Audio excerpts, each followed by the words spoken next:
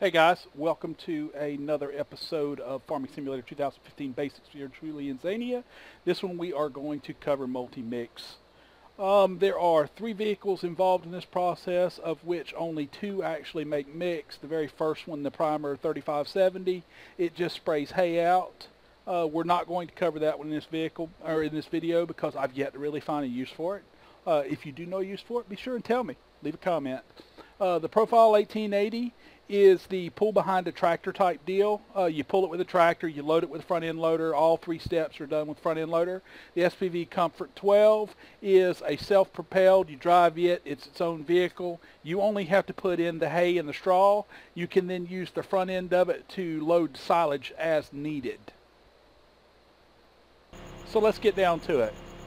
All right, here we have basically our, this is the grass that has been rolled up into a round hay bale. I showed that in Baling Technologies video, how to do that. Um, with this, the, the one that you have to pull with the tractor, now both of these, these uh, mixers have different amounts of storage. The very first one you want to put in, overall you will put in uh, two grass bales, one hay bale, or one uh, straw bale, which is wheat or bar, you know whatever, picked up after you know a combine. So two grass, one wheat or straw, and then almost a full bucket of silage or silage rather. Sorry, almost a full bucket of silage will go into this vehicle. Now here we're going to put in this is our first uh, grass and then we're going to show, I'll, go in and show how it uh, affects the contents. Now the idea is to get the mix rate in the bars, in, in between the bars, which whenever I switch to the vehicle here in just a second, right there, you can see that now it's at 100% of hay, which is the grass, the, the, the, the baled up grass. Um, you have to end up getting them bars, the blue line, in between the brackets for each part. So we're going to go pick up a, uh, a straw bale now, which is baled up wheat and uh, barley, gives you straw.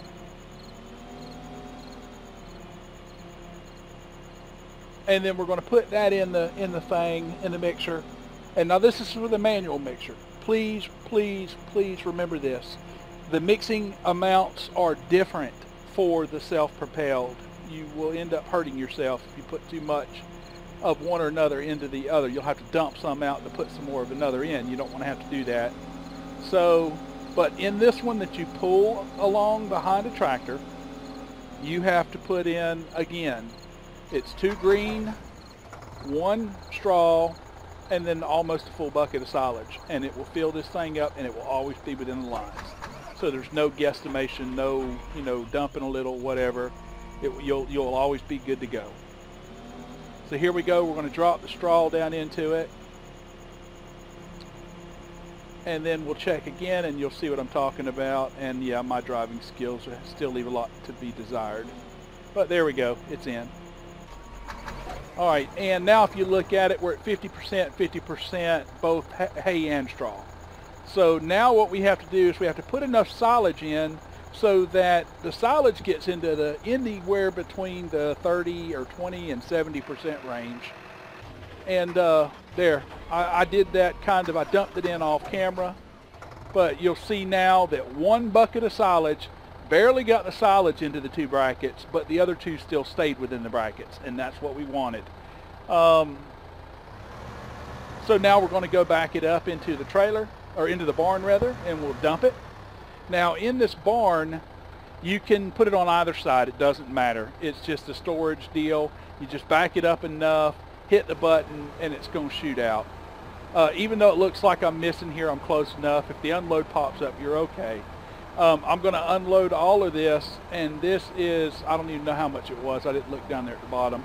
But it's going to, I'm going to unload this entire trailer. Actually, I did part of it, and then I wanted to check. But uh, there, I unloaded it all. Now we've got the big mixer. In this guy, I have already put in one green bale, one straw bale. That's it, one of each. Do not do two greens and then one straw. If you do that, you will end up full. I screwed up, did that. You might notice it in some of the uh, settings up in the top left. Uh, I then had to edit the video because I had to go dump some of it out and then come back and then get some more. Uh, but the, con the, the correct ratio for this one is one green, one straw, and then just be real careful about putting the silage in until you get just enough silage to keep the other two within the in the in the limits. And uh, there you go. And you'll you'll get just barely the silage will just get just barely in there enough to where it, it stays all of it within the brackets. Um, now I'm just going to take this one and I'm going to show you how this one dumps. It dumps just like the other one, except see that black door there on the side? It actually pops down, a little little thing comes out like a funnel type deal, and it shoots it into the uh, trough.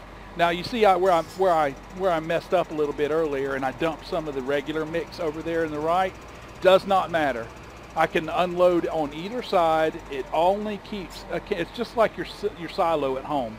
You just they're just dump off points. They show different because you put the green was the first I put in over there. You can also dump there, I believe, but I've never tried it. But um, you just basically just dump and you're good to go. So that's what we're going to do here. We're going to dump it off. This is really easy, easy technology. It's not very difficult at all. You just have to remember that the two of these are different. One holds, now I check, yep, okay, and I am there if you look. I am actually getting more of the uh, the mixed ration, 18, 9, 29, and uh, I'll go dump some more, and you'll see that it caps out. I think it right at, you know, right at 19 or 20,000. So I'm gonna unload, and basically I start getting the message, oh, too much, we can't take any more. Um, and you'll get that. And what that means is basically you, you just drive off and wait till your cows eat some of it. Now I don't have any cows in this video because I just did the video on how to do the mix. Uh, you would basically have cows and your cows would be consuming this every day. And with this multi-mix, you will be making the 100% perfect milk, which is the best milk you can make. And uh, thanks to putting the silage, uh, down here at the barn, all I have to do is use the round bale toter, which will carry up to eight bales and I just grab some green and some, some straw and some, or some straw and some hay, drag them up here, dump them on the ground, use the front end loader or the, the uh, telehandler and load them up into it. It's, it's pretty simple, not too difficult. And uh, yeah, I hope this was helpful.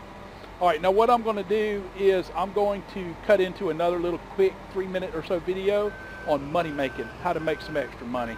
Um, but here, we'll be right back for that. All right, and we are back. So, making extra money. If you come down to the freight yard, which is down here in the bottom right-hand side of the map, everything that you want to sell, you try and sell here. And the reason why is if the freight yard is paying, paying you close to whatever, it doesn't matter what they're paying. Everything that you can sell. Now, I happen to be lucky and have a 1.5 on canola. So I filled up my trailer full of canola and come down here to show you.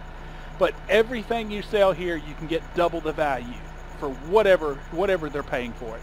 So like here they're paying 1.12 or whatever for, for per ton of canola. All right. Well, if I dump my canola here and then I get out of the vehicle, which I will show you here in just a minute, I get out and then I go over there to that little eye. See the little eye over there on the other side of my truck by that little button? All right, what that button does is that button sends the train off. So, and it actually says send off the train or whatever it's called. It's something similar. So here I go, I'm unloading. As you can see up in the top right-hand corner, I'm getting money. And uh, I just got whatever amount of money that this was valued at from the veil, from the sale rather. From so I just got 1.12k per one ton uh, of value. Now I've got $976,000 now and this is the second save, uh, an earlier save before I made, you know, $14 million. but, um, okay, there, I've unloaded the trailer. Okay, now what I got to do is you got to get out of the truck, which I should do here. Yeah, there we go. All right, you get out of the truck and you come around over here to this little button. And then when you click this button, watch my money up there. Now, it takes a minute because you got to watch the train actually go away. So uh, there it goes. Look at the top thing. says hit the button. All right, there I hit the button. There goes the train. It's all fancy. The train drives away. Train goes all the way down and goes through the tunnel. And then after a short period of time, drum roll please, whatever, we're going to sit here and watch. Goodbye, train. See you later. Look up in the top right-hand corner, though. 976,495. So we just wait. We just wait. As soon as the train's officially gone, which should happen any second now, come on. Do it. Do it. You can do it. Don't be scared. There it goes. Boom. I just got double the money for that load of canola. This works with everything you sell here. Everything you sell here. So if you come down here with wheat and you sell it here, uh, as you saw, wheat sells a little bit cheaper here than anywhere else. But guess what? If you double the price of wheat, why would you take it anywhere else? Because if it sells here for 400, but it sells somewhere else for 700, and that's the best price you can get somewhere else. Basically, if anywhere else isn't paying you double what you can get here, you need to bring it here. Doesn't matter. And uh, that works for everything that you can basically carry and sell. All right. Hope that was uh, informative. Hope you enjoyed this episode. If you did, please like, comment, and subscribe. And I'll see you in the next one. All right, have a great day.